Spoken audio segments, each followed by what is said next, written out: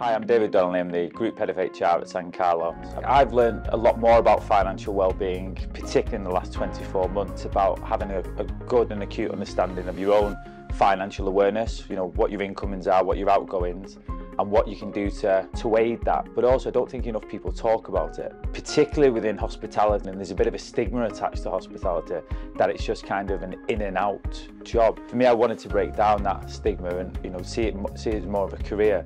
But particularly from the, the well-being side, I think flexibly we can offer more shifts. So if people are struggling a little bit more, we can we can nurture things in a way that will allow people to look after their own financial well-being and that's ultimately why we introduce initiatives such as Wagestream. I think with the use of the build tool they were able to start setting aside some money to to potentially look at you know future investment savings etc and ultimately their own financial well-being but actually in times such as Christmas or busier periods you're then able to essentially earn a bit more so you can spend a bit more and you're not putting yourself in any sort of financial detriment.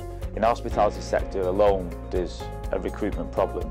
But I think over Christmas, what it's taught people as individuals, but also as, as a business, is that if you help them, they will help you. I've had a number of employees come to me several times, you know, thanking me for bringing them this benefit, that it's really allowed them to have a greater awareness of their finances, use the build tool and you know build pots accordingly. And essentially in 2023, after quite a tumultuous 2022, they can uh, they can then look forward to you know a holiday which otherwise they may not have been able to afford. A lot of firms weathered the storm well during during the pandemic and if they've come out of it then great but actually it goes beyond that now. A lot of people are in survival mode so what can you do to, to help that from from a well-being perspective and that's that's looking at things financially from a health basis from you know including mental health and I would advise any business to to take it very seriously and see what they can do and that most importantly speak to the speak to the people.